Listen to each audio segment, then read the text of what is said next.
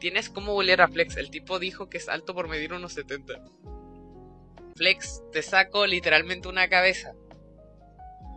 ¿De qué, de qué estoy hablando?